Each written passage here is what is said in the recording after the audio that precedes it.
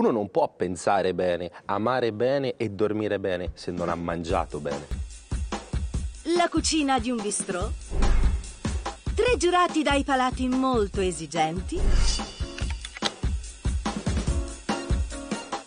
Due cuochi appassionati per una sfida infuocata. Quattro prove. Manualità, abilità, creatività, presentazione e a condire il tutto la nuova promessa della cucina italiana, Simone Ruggiati. Tutto questo è Cuochi e Fiamme,